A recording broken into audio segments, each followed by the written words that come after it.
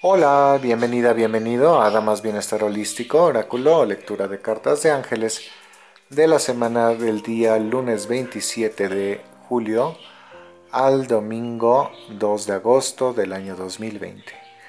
¿Cómo te encuentras? Espero que te encuentres muy bien. Como sabes, tengo la costumbre de despedir al mes saliente y darle la bienvenida al mes entrante, entonces puedes hacer este ejercicio por tu parte.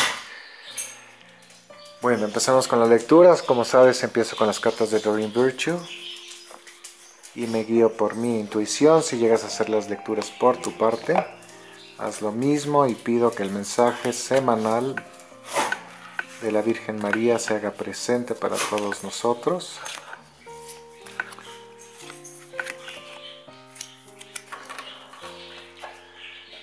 Cartas, que son 60. Hago lo mismo con tres cartas, una para comienzos, una para mediados y una para el fin de semana.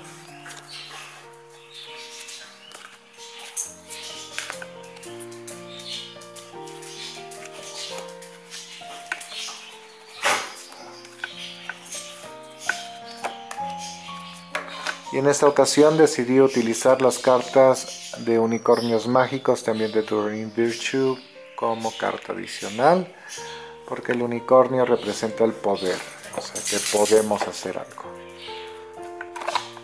Vamos a ver, este mensaje es para todos nosotros, muy en especial para quienes celebran algo, cumplen años. Muy bien, empecemos con la lectura y la interpretación de las mismas. La Virgen María nos quiere dejar saber lo siguiente.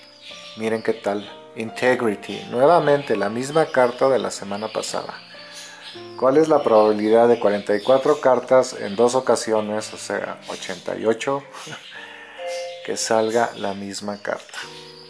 Entonces, bueno, pues repito lo que decía la semana pasada. I trust my ability to know what is true for me.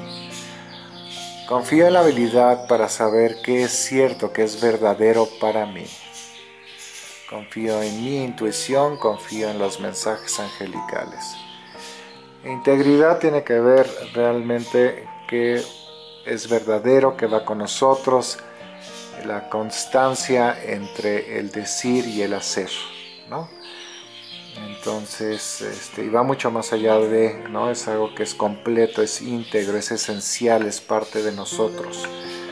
Este, como carácter, personalidad, valores este, y demás. Entonces, bueno, nos están pidiendo ser íntegros. Y esto tiene que ver con la honestidad, ¿no? con la sinceridad. Entonces, bueno, vamos a ver cómo se van desarrollando las cartas. Para el lunes y martes la carta dice, eres luz. Es el arcángel Uriel y dice, provienes de la luz de la fuente. Por lo mismo brilla con tu propia luz. Expándete, no hay límite, ni espacio ni tiempo. Brilla e ilumina. Entonces, bueno, eh, ahora sí que ah, nos están pidiendo ser nuestra mejor versión ¿no? y confiar en que somos la mejor versión de nosotros mismos. Para el día miércoles y jueves, la carta dice compasión que bueno, ya nos han pedido mucho trabajar la compasión y nos siguen pidiendo trabajar la compasión. Y es el arcángel Zadkiel y dice, ayúdame a ser compasiva, compasivo conmigo misma, conmigo mismo y con los demás.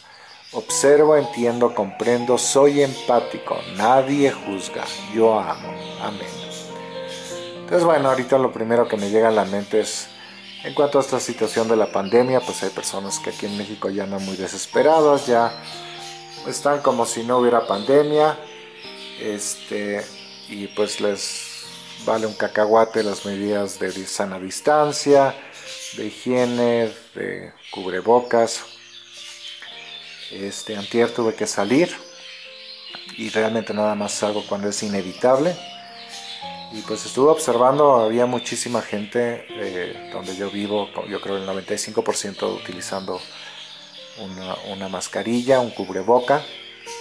Y a la tienda a la que tuve que entrar, nada más podía entrar una persona y al entrar te toman la temperatura, nada más te dejan entrar si tienes un cubreboca, yo aparte tenía una careta para la cara.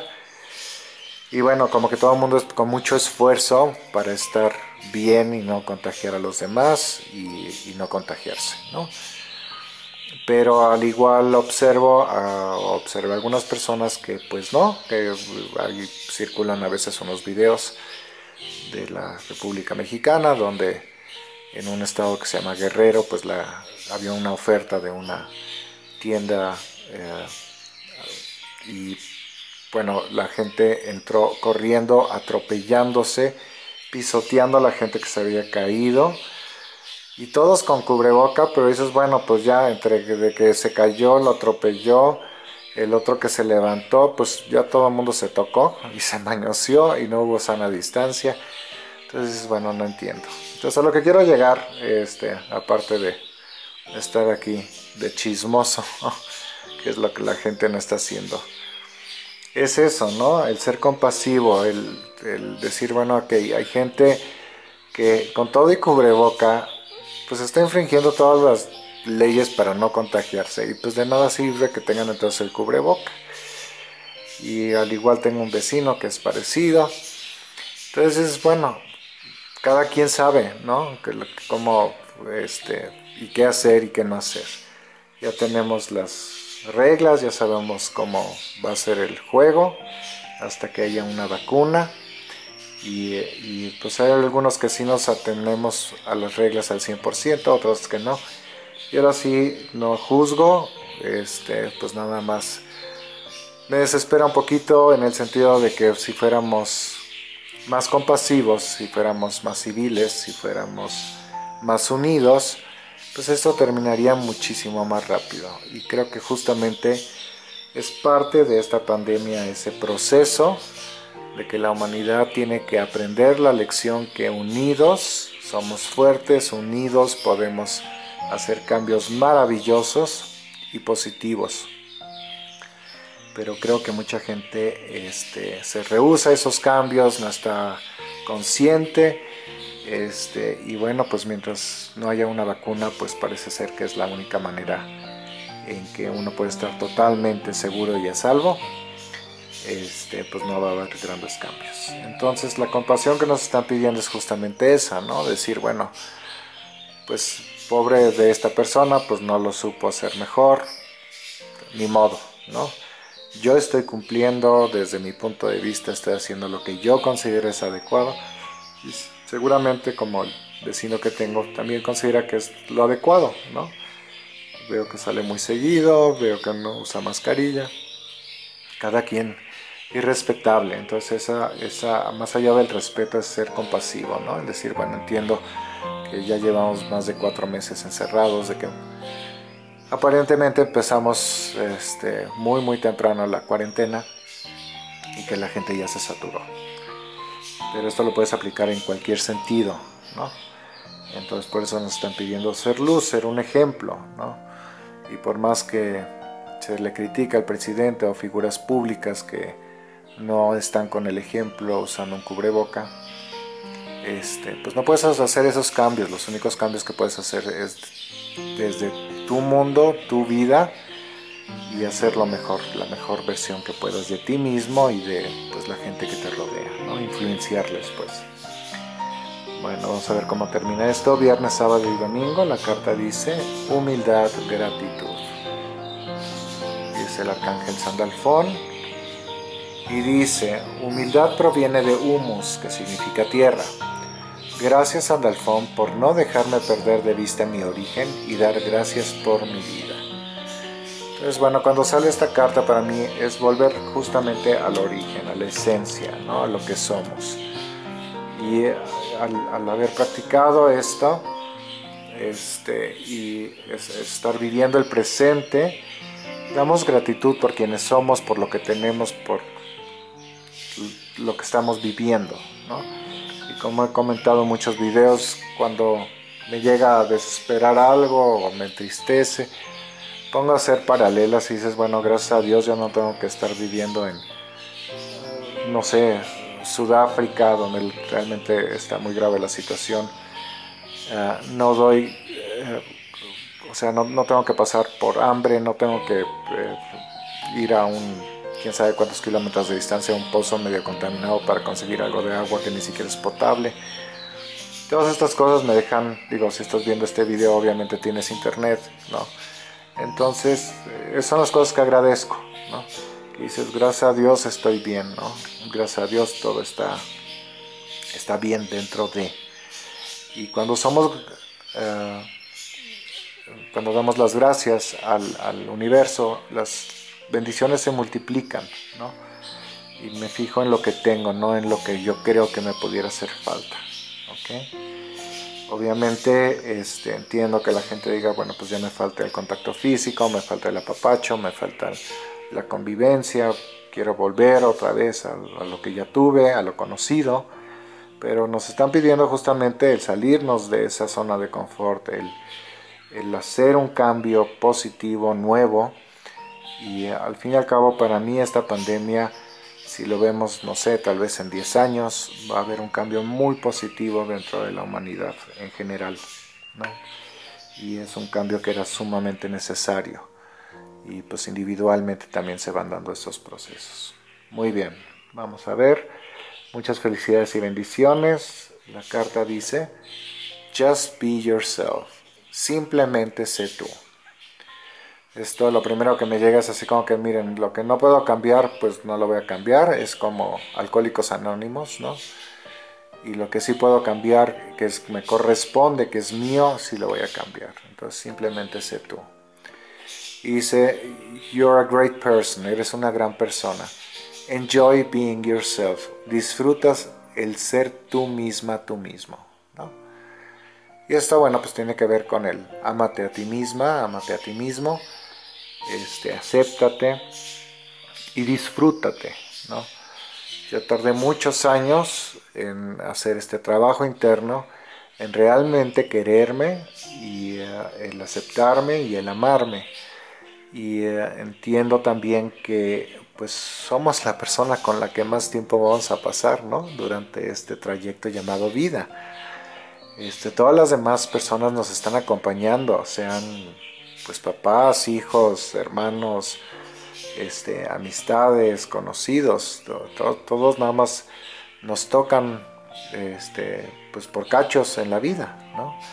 Pero pues nada es permanente más que para nosotros, si consideramos que nada más hubiera una vida, pues esta vida. Entonces pues con la persona con la que más tiempo vas a pasar es contigo misma, contigo mismo. Entonces, bueno, por eso tratamos de hacer una mejor versión de nosotros mismos, ¿no? Y yo, gracias a Dios, he logrado esto y estoy muy a gusto conmigo y me quiero mucho y me lo paso muy bien, ¿no? Y este, y pues este trabajo interno que nos está tocando con la pandemia tiene que ver con esto. Hay gente que se niega, que no quiere trabajarlo, que no quiere sacar provecho este, de una manera positiva del tiempo este, hay otras que sí, hay otras que pues toman cursos en línea, que se pusieron a practicar piano, que se pusieron a tomar un curso en internet en no sé qué, una licenciatura. Entonces, somos muy diversos y ahí vuelve nuevamente lo de la compasión, ¿no? Ah, no porque a mí me funcione algo, al resto le va a funcionar igual. Hay gente que, como mi vecino, es muy inquieto y pues ya se desesperó y pues ya, ¿no? No me importa, yo voy a salir. Entonces hay que ser compasivo y entenderlo y decir, ok, va, hazlo, ¿no? Digo, espero que todo esté bien y que no pase a mayores, ¿no? Pero este, al igual, eh, ahora sí que volviendo un poquito con la compasión, si todos fuéramos compasivos y fuéramos menos ególatras, también haríamos un mejor mundo para todos nosotros, no solo para esta generación o las que siguen, sino varias atrás. Y lo vemos este, con la contaminación, ¿no? Y la ecología y bueno, pues el cambio climático, pues parece ser que, bueno, no parece ser, los grados de contaminación mundiales bajaron, se están limpiando ya en gran parte los océanos, entonces son cosas positivas poquito negativo es de que, bueno, para que la gente no se contagie se está utilizando muchísimo plástico, ¿no? O sea, con las micas y demás. Entonces, bueno, ahí hay otra vez un desequilibrio, pero digo, ahora sí que va por prioridades, ¿no? Este, que va primero. Pero este, todo este aprendizaje es para la humanidad y la humanidad dentro de esta tierra, este mundo que conocemos, este, pues somos un cachito dentro del pasaje, ¿no? Nos tomamos a veces las cosas muy en serio o nos tomamos como muy importantes y creo que esa es la concientización que va a haber, que realmente pues nada más nos es prestado el planeta, nos es prestado el estar aquí, no es nuestro, no somos dueños de. Entonces todo esto tiene que ver con el ego. Entonces el ego va a ir disminuyendo después de esta pandemia y eh, va a haber un crecimiento. Eh, de hecho, bueno, lo está viendo ya, ¿no? Porque cada vez que hay caos hay un cambio energético este, de un nivel a otro. Y justamente ahorita estamos en el caos. Entonces, bueno, el cambio se va a dar, ¿no? Y eh, aquí quiero agregar también todavía Depende de ti, desde tu punto de vista, tu visión, tu actitud. Este, si tratas de pasártela a gusto, bien, si sabes que todo está bien, que estás a salvo, que no corres riesgos, este, pues da gracias por ello, este, si no tienes que salir, ya al menos de que sea esencial, y tienes la fortuna de poder quedarte en casa porque lo puedes aguantar económicamente, pues hazlo. Si tienes que salir igual, saber, bueno, ok, pues estoy usando el cubrebocas, la careta, me estoy lavando las manos, tengo todas las medidas de higiene, de sana distancia y demás, y estoy bien, estoy protegida. Entonces a lo que quiero llegar es, tu actitud es la que importa. Si disfrutas de todos modos, a pesar de todo, tu vida y el día a día, este, pues es mucho más rico, más agradable este, pasártelo así, que estar angustiada o angustiado, con miedo o con una energía negativa. Y nosotros decidimos cómo queremos vivir. La decisión de ser feliz es una decisión. Igual la infe,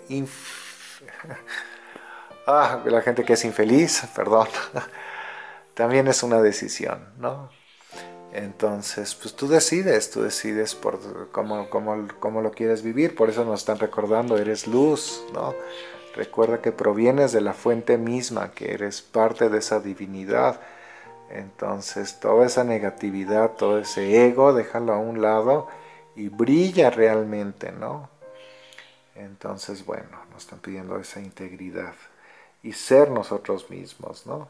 Y al reconocer todo esto y ser compasivos con los demás y al reconocer todo esto, pues damos gracias y somos humildes, o sea, regresamos a nuestra propia esencia, ¿no? Creo que quedaron muy claras las cartas, creo que se ligan muy bien. Quiero agradecer a todos los que comparten estos videos, los hago con mucho amor. Este, a los que se suscriben, se han suscrito, se mantienen suscritos. Eh, y bueno, haz una mejor versión de ti misma, de ti mismo. Cada día es una oportunidad. Este, hay mucha gente que también tiene reacciones de, uy, si hubiera sabido esto, hace tanto tiempo mi vida hubiera sido diferente. No, es lo que te tocó vivir y este es el momento donde hubo un despertar y donde puedes hacer los cambios, ¿no? Y hay otras personas que no quieren hacer los cambios porque igual no les toca hacer los cambios. Cada generación le toca algo. Entonces ahí pues ya habría que ver eh, la situación de cada persona. Pero por eso mismo nos piden ser compasivos, ¿no? Recuerda, hay siempre una historia mucho más allá de la que vemos. Veo que mucha gente interpreta también situaciones, ¿no? Se crea sus propias historias y sin saber la historia real que hay detrás de cada uno. Entonces, sé compasivo y, entiende que somos diversos y que puede haber una historia totalmente diferente detrás de lo que estás viviendo, lo que estás viendo, lo que estás escuchando, que también tiene que ver. Bueno, pues te agradezco de corazón tu atención, te mando muchas bendiciones donde sea que te encuentres. Obviamente le mando un saludo y bendiciones a todos los países de habla hispana este, incluyendo bueno, Estados Unidos, donde hay una gran cantidad de hispanos. Este, y pues también de repente me entero que llegan a ver los videos en Europa o en Nueva Zelanda. Saludos hasta allá también. Donde quiera que te encuentres, te mando bendiciones y te mando un abrazo de luz. Hasta la próxima ocasión, con mucho amor. Namaste.